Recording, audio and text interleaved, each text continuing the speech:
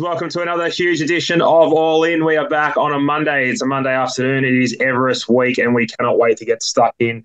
Without further ado, Lewis Willoughby from Sky Thrive Central, Central and uh, Sky Racing. Welcome. Yes, g'day all.com and the uh, piece of paper dribbler, as I'm now referring to oh, yes. the eagle-eyed, the eagle-eyed form analyst who spotted something no one else could and got the chockies on Saturday. It was a great Saturday of racing, and now uh, it's Christmas time for punters here in Sydney. The race of the spring, I think it is anywhere. It's the Tab Everest comes up on Saturday. It's going to be a cracker, 28 degrees and sunny at Royal Randwick. Cannot ask for anything better. Wow, we yep. Uh, flying airplanes at Flemington, but they won't be flying airplanes at, uh, at Randwick. They'll be flying horses. Speaking of last week, King's Gambit, Lance, Magic Time, Star Patrol, Dean Watling's best bet. Star Patrol, welcome. Yes. Uh, what's your new nickname, Gary? A4? A4. Yeah, A4. That's good. That's good. Uh, Louis, it's good to be here, boys. Massive, massive week. I think uh, on top of the Everest, I love the Caulfield Cup. I think it's one of the better editions and more open editions of the Caulfield Cup. And we'll touch on the Turnbull maybe a little bit. I think that's the key format for it, but we'll go through Caulfield Cup market soon. So I can't wait. I think it's good racing all around, boys. Yeah, beautiful. And the Guineas as well, Dino. We'll touch on that as well. Yep. Beautiful. Yep. Massive race. Sydney, Melbourne come together. First time we'll see them clash. So opinions galore. Super stuff. All right, let's go to the Everest. We'll head to Randwick Rail position, three meters to go back into the archives, the archives, and see uh, three meters for the Randwick on Everest Day. It's usually true. Mm. Yeah, it is. There. I think the last meeting we had was true, so maybe that yep. it, and the rail was hot. So interesting, but I would suggest, boys, they will make sure that this track will be as fair as possible. It's the biggest day in Sydney, and How'd the last thing, no, I'm joking. All right, let's kick it off. Don't go there. Don't go there. Let's have Everest. 1200 meters. There's been some winners of this race in its time. There's been a bit of uh, bit of news this morning. Alcohol free has got a slot, which is fantastic. Um, you got odds up in front of you there, Louis, because you know, as fate would have it, my computer's decided to slow down on me. Of course I can, mate. With Tab, I wish I wins the four dollar favourite. Think about it, four fifty. Private Eye six dollars. Buenos Noches eight dollars, and then double figures for Hawaii five zero and eleven. Cylinder thirteen. In secret fifteen with Overpass also fifteen. Espiona 17, Shinzo 17, Mazu 26, and alcohol free, the one you mentioned, is a $34 chance. These odds correct at 151 on the 9th of October. And remember, what are you really gambling with for free and confidential support? Call 1 800 858 858 or visit gamblinghelponline.org.au. So I wish about it $4 chance and favourite, Gano. How good. Well, I'll tell you what, here, fellas, I spent a bit of time on this race looking through the jockeys, looking through what a speed map, a potential speed map will look like. And I came up with something that was pretty scary. Overpass, leader, on pace runners, zilch, Midfield, forward of midfield, Mazu, Hawaii, 5 and Cylinder. And then beyond that, the rest is beyond midfield. Have I got that right? Have I got that wrong? Is there any other runners where it could be on pace or or lead? I think there's I think one potentially could be alcohol free second up. Um, I guess they would probably try offset its 1400 meter ability and maybe roll forward. I think maybe the other one could potentially be cylinder too. He's always shown tactical speed, but um, outside of that, I think you've hit the nail on the head, Gunner. It's going to be on paper um, a race that lacks tempo. Is that going to mean that the race itself uh, on the day lacks, lacks tempo? Uh, it is worth $15 million or $20 million, whatever it is now. So just a lazy sure. five in between. Yeah. No stress. Um, uh, interesting. So we saw uh, Louis' least favourite horse of all time, and um, a good family friend of mine, the Gibsons, are actually a shareholder in in. But uh, Louis uh, up there with Jungle Edge. Um, yes, Redzel got away with a couple of uh, Everests at a slow pace. Do you think we're going to see the same thing this year? Well, yeah, possibly. And and um, if you were connections of Overpass, you'd, you'd of course be hoping for that, wouldn't you? You'd, you'd really be hoping that nothing takes you on because you know you've got a bomb proof tough and fit horse who loves to race up on speed and set sectionals that are quick and, and splits that are quick early and, and run them again late. So uh, I'm sure they'd be pretty keen. I thought maybe something like a think about it could perhaps push to be above midfield. I'm not talking, you know, mm. uh, first, second, or third. Although the way it turns out, as you just said with your speed map, maybe it will be first, second, or third. Well, here's here's the problem. So, like you guys know this as well as as anyone else. Like you've got a leader, but someone's got to now drag you up to that leader. And yeah. you, no one wants to. You do, you don't want to be that horse or that jockey dragging up to the leader. You want someone else to do that job for you. Yeah, but I who's going to do it? What What I would say is that okay, obviously we should have the best jockeys in the world riding in this race, and we do, and they're and they're smart enough to figure it out. Yeah. If they, if Overpass leads and doesn't go very quick in front, if you've got a horse who you think, okay, oh, it's got to run back in the field to run its best races, but they aren't going that quick, go forward because yeah. realistically, you know, sitting. Well, let's let's talk about that quickly. What jockey's going to do that? Nash Rawiller, he's on Private Eye. He should. Yep. Hey Max on Hawaii Five O. He'll figure it out. Yep. Correct. And Zac Lloyd's an aggressive jockey. He's on cylinder. Yeah, I'd hope, and I think the tactics to him would be they'd be helping him, saying, "Mate, you got to go forward." Yeah. I'm sure he could figure it out himself too, but I'd, I'd say that they'd be helping him there. I think the point we need to make as well is that overpass to win the race, I think you've got to be very careful how slow you go. If you go too slow, you're just going to allow these horses with superior turn of foots to build up to you. And say, see a leader, that horse wants to sort of build the momentum from the 600 meter mark and want to be at his top of the 400. That just means that off or the back markers have to sustain a run. So it's a delicate balance. Uh, the biggest tick for the back markers is going to be gates. I think that's going to be so crucial. If you're going to be a back marker, you don't want to be last. You want to be three, four pairs back at worst. So I think barriers for this race are so crucial. But I think the pressure might even be on overpass that he's going to have to rate this horse perfectly. If you get it wrong, they're going to run over the top of you. If you go too slow, if you go too fast, you're going to blow yourself up. So the biggest tick I think for this race is that the two horses that can have tactical speed beyond overpass are trained by Waterhouse and Bott. So you know they're going to be rock hard fit and ready to, to rock and roll up and speed. Beautiful. All right, Louis, here we are. Now it's time. Cometh the hour, cometh the man, the Tab Everest for 2023. What's your all in play? Yeah, it's funny. We just spoke about um, slow tempos and and whatnot, but I'm probably giving the horse who's going to be last in running. oh, um, no. I wish I win, but I, will tell you why. I think that uh, Overpass will set a strong tempo in front, and Waterhouse Bott horses will be up there aiding it. I think we'll still get a strongly run Everest. Yep. Uh, this horse, six week between runs, back from 1400 meters. Everything I touched on, on last week. He was huge in that Memsie. It's a great platform. Okay, you say no horses have won this second up, and no horses have won this off a four week plus break, but the sample size is too small. Yeah, uh, I think yep. to be to be commenting on the perfect lead in or the perfect profile for this race. TJ Smith winner has that huge spike at the track and distance in ratings here above anything else. Um, beat Giga Kick, who was going to probably be uh, favourite for this race had it not been scratched or close enough to favourite anyway. Um, so I just I think it is the best horse in the race. I think it's the best sprinter in the race at this track and trip. It's going to love the hot tempo, and, and Peter Moody knows what he's doing there. The one I will also be with because you can kind of play that way a little two horse yep. uh, two bet play is Private Eye, who I thought was huge and can only improve. Second up to 1200 meters, has been there and done it. Has a bit of Redzel about him. Pri- Private Eye has been on these uh, Group One races for for many a season. Is uh, versatile, can sit forward, can sit back. I think probably runs better, ridden a bit quieter, but um, can be more forward in this. And yeah, I think at a good price there for Private Eye. Um, maybe yep. one that just float under the radar on, uh, on, race day. Good stuff. I like it, Lou. I like it. A little two bet play for the Everest. Dino, what do you got? Yeah, I love what Louis is saying about the tempo. I think we could maybe potentially overplay it a little bit. We'll get to Saturday. We forget as well that it's Randwick 400 metres straight. Like to lead all the way, you've got to be a pretty bomb-proof horse in a big pipe of a race like that. So I respect that there might be not any tempo on um, paper, but when the race is worth how much it is, uh, I think barrier is going to be key. But I think you'll be able to run on, um, especially with the way the track will play.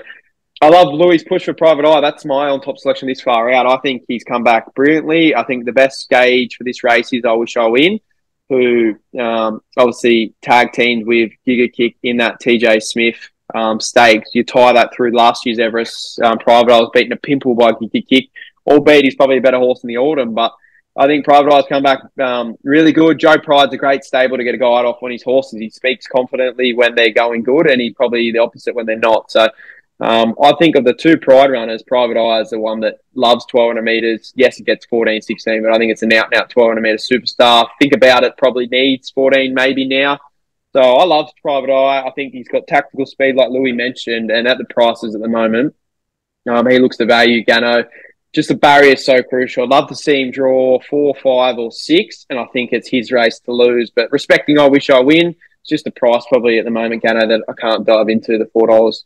Yep, fair enough. I think there's only one bet, so uh, at the moment that I can have four dollars thirty uh, over past the place. I think it's an absolute foolproof bet because he'll go forward, he'll sit uh, sit on speed or lead. Sorry, shouldn't sit on speed. Uh, Park can rate them as, as well as anyone in the game, and uh, he'll be very very tough late. And what I'd be worried about is he probably have a two length um, advantage over them as they hit the rise and I'm just not sure if uh, if more than three of them will run over the top of him. So you're getting a good price for all of thirty the place as opposed to you know think about it or I wish I win the win.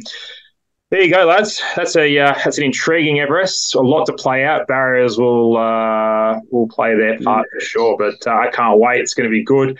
Let's go to the King Charles. Race has fallen away a little bit, I think, since the last time we spoke. Mr. Brightside, 250 Fangirl, $6. Light Infantry, eight. Zaaki, 8 Kovalica, Lobs here now at eleven dollars. Think it over. Eleven dollars hasn't done a whole lot wrong. Think it over. Buckaroo fifteen. Golden Mile fifteen. Hoping your heart 15. 26. The rest. Dino, kick us off with the King Charles. Yeah, it's going to be interesting speed map to identify. I think it over probably rolls forward. We've got a couple of internationals to dissect here.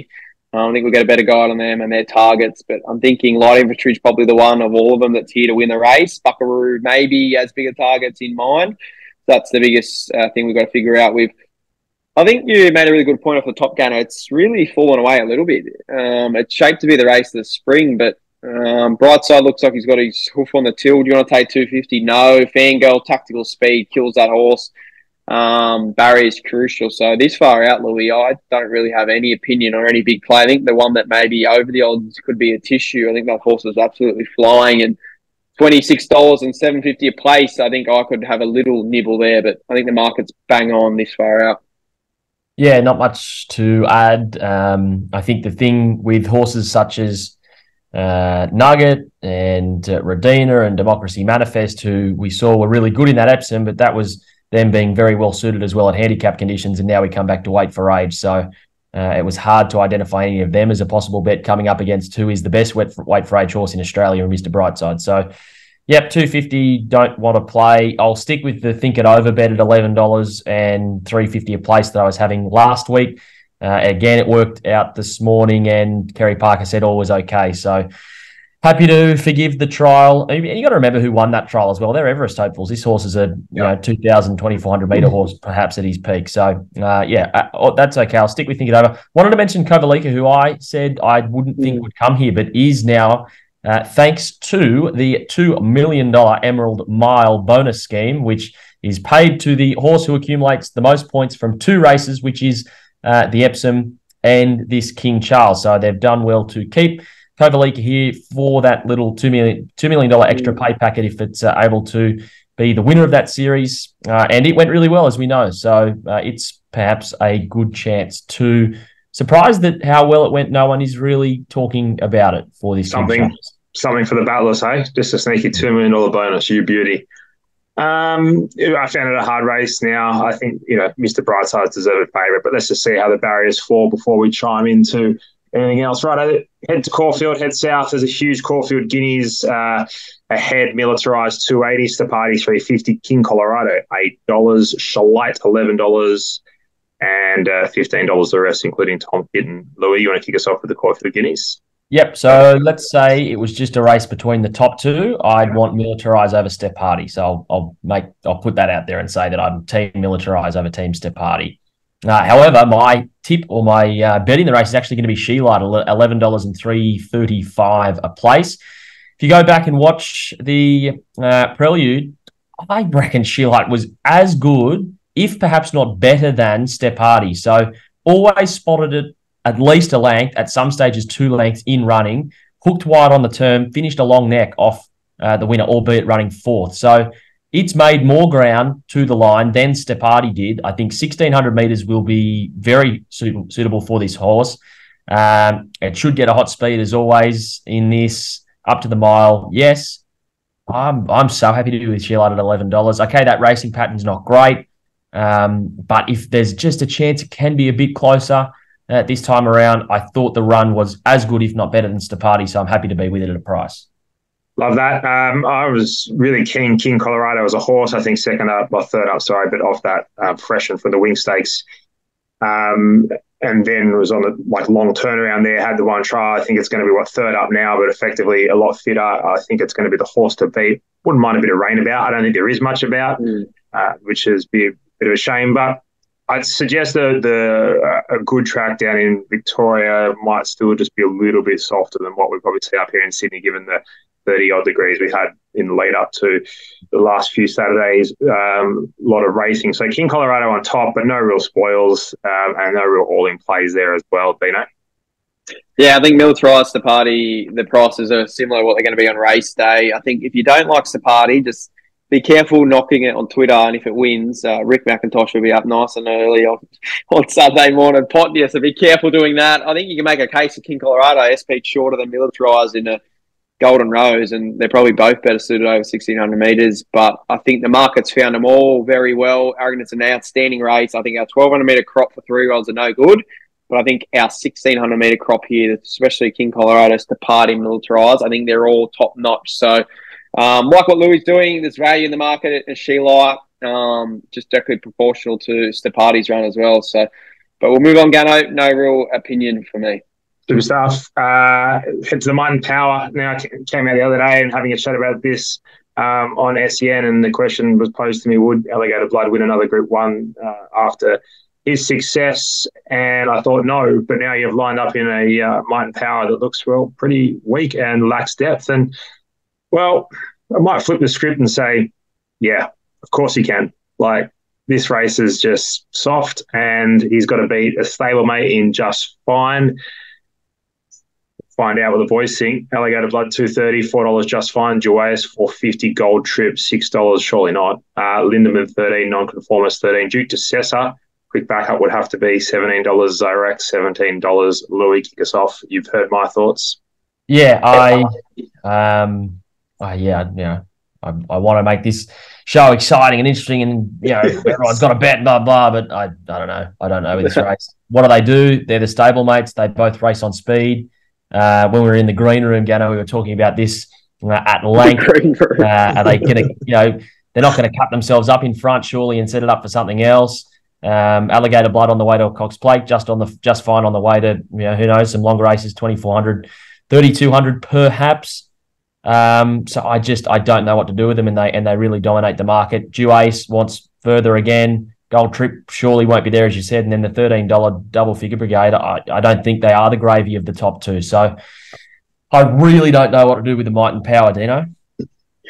Yeah, I love the race betting wise. I think Just Fine's a better horse than Alligator Blood uh, at 2,000 metres. Oh, I love this setup. 2,400 back to yeah. 2,000 metres. I I think this horse is the, the horse of the spring. The, the figures that this horse is producing uh, are elite. Um, you said Gunner that he's the next Might and Power, and he's found himself in a race. It's oh. called the Might and Power. So I like that I think, I think I, should, I think I said something along the lines of shades of. you, you, you told anyway, me. You go on. I go I go for a run around Centennial Park and I've got shades of Chogi, but I'm not him. You don't need to be. You can only be sort of. You don't have to be full mind power to win this race. I just think the market's way too short. Alligator Blood. I just love two thousand meters, which is fine. I think Alligator Blood gets two thousand, but I think yeah. he was gifted that race last start. I think he's a better sixteen hundred meter horse. I just love. I just love Just Fine. I think it's such a good horse. Um, and I think they should be close in the market. The real question is: is that is are they actually going to line up against each other? Well, I think so uh, because um, TC's booked for Alligator Blood and Geordie Charles is booked for Just yeah. Fine. So you you would like to think that given they're both different book, jockeys are booked, that they would. And the, I just and think the Sable aren't the Sable aren't afraid of doing that. No, exactly. So I just think um, in the big races prices, anyway. At the prices, they should be nearly even favourites with each other. So I think four dollars just finds an absolute gift. I'll lean that way in the Might and Power. Wow, an absolute gift. There you go, punters. Uh, question for you: Who leads? Alligator blood. Alan will be on the phone. Just oh, no, I think yeah, just fine. Sorry, I'll, I'll switch that around. Just fine. Oh, bless him. All right. we'll go to the Toorak.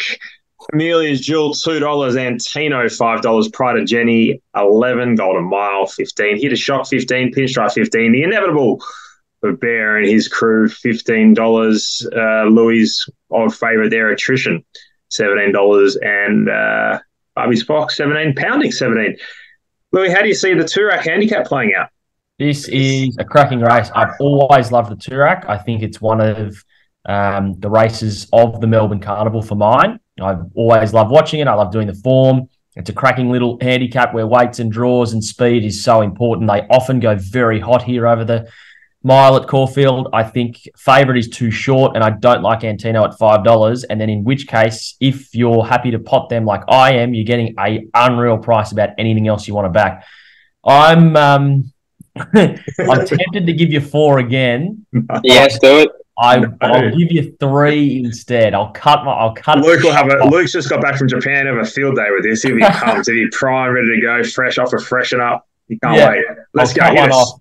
I'm going to go Pinstripe and the inevitable at 15 and attrition at $17. So they're my three plays in the bet. And I'll, I'll run through them quickly. Pinstripe, um, it was huge winning last start. That was the Group 2 Feehan. It had to swoop the whole field there at the Valley, came from near last to do so. Long run, held on late to win well. I think a freshen for its suits. It's often run well before off gaps between runs, has pinstriped, and I think they've finally just figured out the, the little key with it. In winning form is good, and it's going to appreciate this really hot tempo if it's sitting midfield or behind.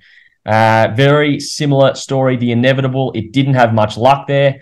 In the Epsom at Randwick, it was going really well. It started in the market. Clearly, it was there to run a, a big race and, and be a top three chance. Just got a bit lost back in the ruck and held up behind, behind horses at a crucial stage. Uh, and attrition, just kind of similar story there with uh, with Pinstripe. They're racing well amongst each other. I think it's going well, and $17 is a huge price. Others, seriously, I could include. I thought Barbie's Fox was huge in the Epsom. Pounding uh, wasn't as good, but I think back to Melbourne would suit for it. A horse like Amenable, what its SP so short and favourite and did nothing, and then pulled up no issues. I haven't been able to chase down if the stables come out and said what was wrong there, but you've got to respect the SP and the fact it was going really well. You wouldn't probably be shocked to see it bounce back and run a big race here if everything, uh, if they identified an issue and now it's been fixed. So, yeah, great race, great, great race. I'm going to be those uh, with those at a price. Dino, what do you got for us? Yeah, I love it, Lou. Good, a passion. I think Miller's sure wins the race. The betting the race is inevitable. The place around that 350 price. I think that is one of the better bets of the weekend. It had absolutely no luck, to say the least, there uh, last start in the Epsom. I think it gets clear air, it wins the race. It was dead set, stuck behind horses, running the fastest last 600, last 400 of the meeting. So I think that's a great bet. $3.50 around that price. I place the inevitable Gunner. Yeah, if you want me to spill a secret, just uh, time out, maybe watch replays of the, the inevitable last start because Fair Income was torture. It was absolute torture. And poor old Dave Perez, he'll be back. He'll bounce back in big, big. Is he jockey? Is he booked? Yeah, he's he's booked. Yeah, I love it. Come up the hour. Yeah, let's go, Davey. Now's your time. Uh, you're getting four dollars and eleven cents at the moment with the Green Cafe with tabs. So I am very, very keen. The inevitable, the place, and that brings me to my all-in play of the week. It'll be the inevitable, the place at four dollars and uh, eleven cents um, into Overpass around that three dollars or four dollar mark. I can't remember what it was, but you're getting around. Let's just call it a clean fifteen dollars. Is my all in play of the week, Louis? What do you got? Place, a place multi. I love place, it. Place multi. How good. How good. I'm going to go. I wish I win Tab Everest as the all in play. I think it's the best horse in the race, the best sprinter, and should be winning this year's edition. Good stuff. My best all in play is just fine in the Might and Power. I do want to mention one. There's no market out, but uh, King of Sparta in the Sydney Stakes. I think it will be incredibly hard to beat if the market's not out yet. But just fine. Best all in play of the weekend. Love that update. Yeah. Uh, the inevitable and overpass, seventeen dollars sixty three cents the double. There you go, punters. Righto, it's been good fun. Um, massive week of racing ahead. You can check out all Dean stuff at dean uh, deanwatling.com. And Louis, you just yes. got to go to channel 528 and 526 to see all your stuff. Yep. You'll catch me um, in the comments of the YouTube video defending myself. Yeah, so, Georgie Moore will be into you again, just as usual. Georgie, Georgie, keep going. I know that's Dean's old man, so thank you, Dave. Appreciate all your hard work. Make sure you're tuning into the Sydney set on a Saturday morning as well. We might steer you into a one winner out of 10. You never know. Might get five. Fun. It's been good fun. Bye bye. Thanks, lads.